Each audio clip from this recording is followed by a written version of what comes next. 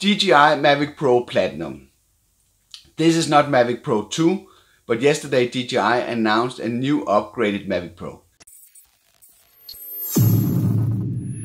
The Mavic Pro Platinum has been rumored for a while, but now it's a reality.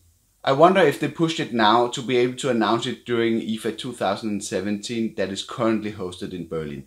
IFA 2017 is a big European uh, consumer and electronic show. I'm Henrik Olsen from the channel Drones and Electric Unicycles. If you're new around here, consider subscribing by hitting the subscribe button below so you don't miss out on weekly tips and tutorials on uh, drones and e-wheels. So what do we know about the difference between the traditional Mavic Pro and the new Mavic Pro Platinum? There's supposed to be four things that sets them apart as the basic airframe is the same in size and weight. The Mavic Pro Platinum also shares the same uh, downward and forward facing vision sensor system. And as far as I can see, the camera also has identical specifications.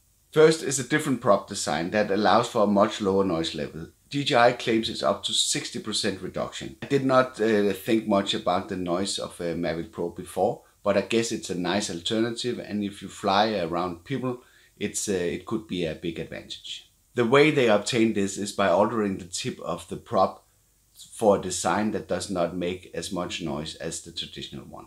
But even more important, uh, the new prop design is uh, supposed to prolong the flight time to 30 minutes. We were all very impressed with the, the standard 27 minutes for the original Mavic Pro, so getting additional 3 minutes is a huge benefit. Another nice touch that might be uh, important to many is that you can use these new props on your old Mavic Pro.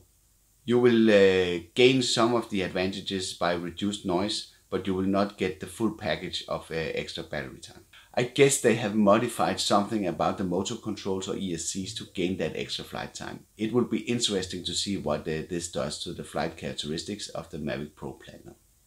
They changed the color of uh, the Mavic Pro to have a more metallic look. I guess this is pretty nice, but this is not really a deal maker for me. Rumor says there's a matching remote uh, that has the same uh, platinum uh, metallic look, but I have not been able to find it on the web so far.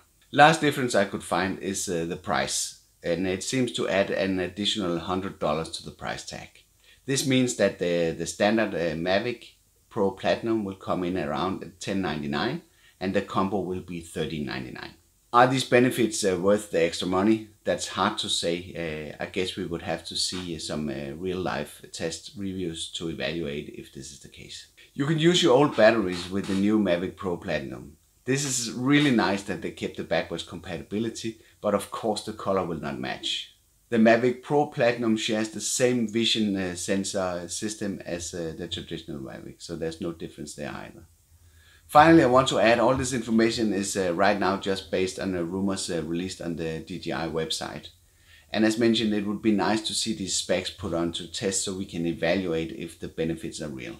I know many of you had expected a Mavic Pro 2 one year after the original Mavic was announced, but I guess this is not realistic until sometime spring in 2018. Hope you like this short video about the DJI Mavic Pro uh, Platinum. What do you think about this new drone from uh, DJI? Is it worth uh, the extra $100? Leave a comment in the comment section below. Have a nice one and see you on the next one.